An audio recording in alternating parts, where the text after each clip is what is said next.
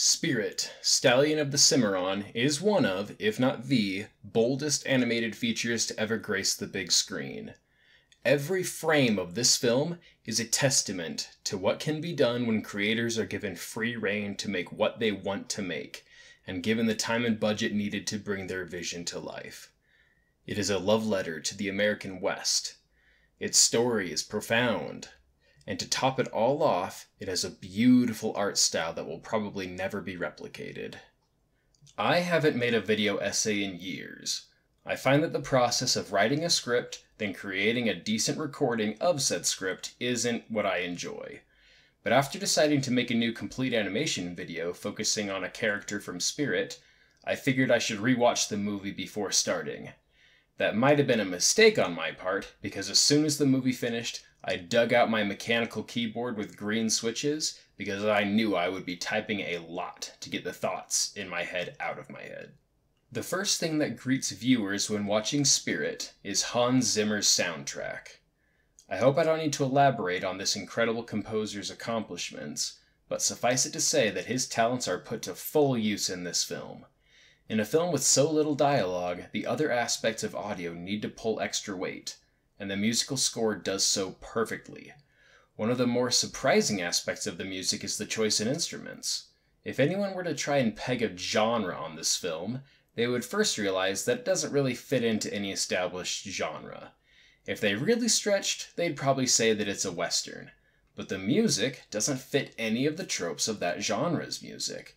There are no guitars, there are no jaw harps, whistles, banjos, fiddles, flutes. None of the instruments commonly associated with Western films are present, because this movie isn't a mere Western film. Rather, it is an artistic depiction of an ideal West. And Hans Zimmer's soundtrack uses much loftier and regal instruments to adequately complement the essence of that ideal. As of the time of this writing, traditionally drawn Western animated films are rarer than gold. The only studio currently doing such films is Cartoon Saloon. The last 2D film made by Walt Disney Animation Studios was 2011's Winnie the Pooh. After a decade of almost nothing but 3D animation, it is almost jarring to go back and see one of the last examples of traditionally animated films. I have nothing against 3D animation, but when it is the only thing the entire industry makes, it makes me wish it wasn't the only thing they made. As such, Spirit's visuals hit me harder now in 2021 than they ever did back when it was released in 2002. Spirit came from a time when 2D was being fused with 3D to create visuals that wouldn't be possible otherwise. Spirit's dynamic sweeping camera has to be seen to be understood. The thrill of seeing these hand drawn characters running through slot canyons will never get old to me. While jarring at first, the painterly backgrounds add just a touch of fantasy to an otherwise grounded world. If Spirit were to be compared to other movies, the closest comparison would be Disney's animated classic Bambi.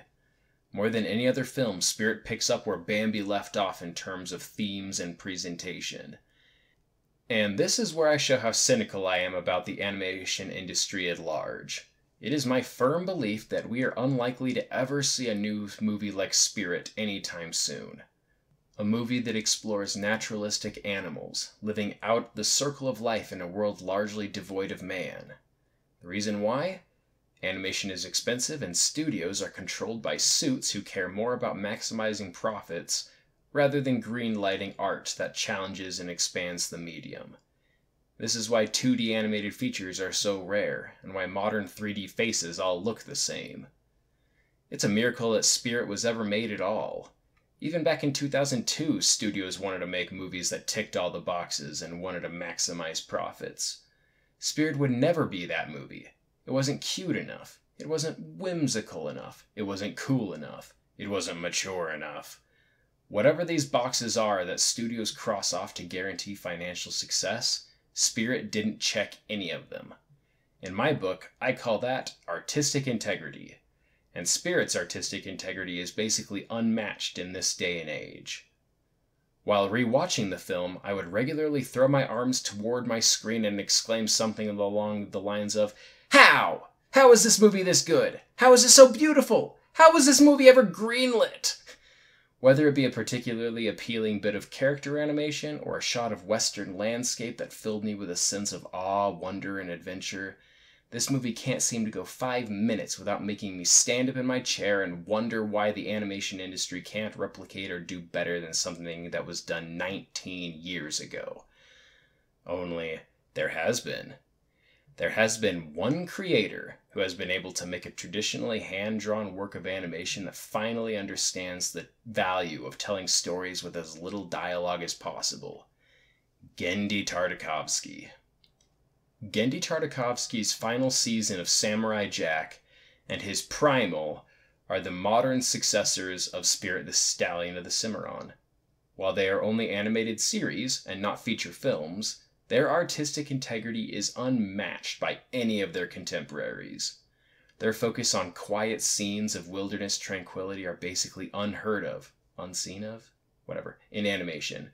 Their art styles reject the notions about what adult animation should look like. Yes, Genndy's shows are violent, but their violence has a level of maturity and restraint that is hard to describe. If you take any of the violent scenes out of context and just view the highlight clips on their own, it does indeed seem overindulgent and immature. But if you watch the entirety of the piece, the violent parts start to not only seem more sensible and not out of place, they begin to seem necessary, as if the violence being left out would have made the story impossible to tell. Spirit also has its own violent punctuations, but they show the same level of restraint that Genndy Tartakovsky shows. Every gunshot is carefully considered. High caliber bullets actually do the damage you would expect them to. A train rolling down a mountain feels just as heavy as you would hope it would. Spirit's story is about as complete and perfect as a story can be. It takes the characters everywhere they need to go. It explores every environment and landscape it should, it ends just when it needs to, and it needs no sequel, no follow up. Spirit explored every one of its concepts to their completion. It is a perfectly self contained work of art that needs no more elaboration, and we don't need to know what happens next. Which is one of the reasons why I am so opposed to the animated series that has the gall to take the Spirit name and turn it into something so incompatible with the original work.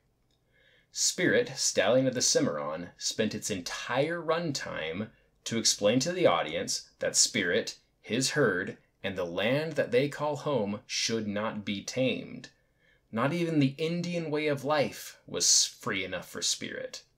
The movie went to great lengths to show that Spirit, the non talking horse, was the main character, and his freedom from man was of the utmost importance. Spirit Untamed was released in 2021 as a feature film adaptation of the animated series that took the spirit name, the likeness of the horse, and left everything else behind. As a standalone movie, it would be harmless enough and actually includes some appealing visuals. It is clearly meant to cater to a particular demographic, which is fine enough, but what I take issue with is how little regard it gives to the original work, especially how little it needed it. If you want to make a movie about preteen girls in a western town riding their horses to stop a bunch of horse wranglers in a grand adventure, that sounds just fine, and like a movie I would enjoy parts of. But the minute you add the likeness and name of Spirit into the movie, you've added a lot of baggage that you probably aren't going to handle properly.